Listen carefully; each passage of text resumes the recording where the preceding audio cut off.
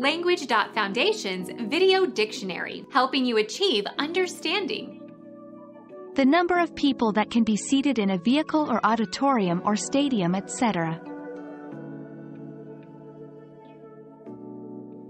Become our student and get access to effective and free educational materials. Subscribe to our channel to become a part of our growing community and to learn English effectively.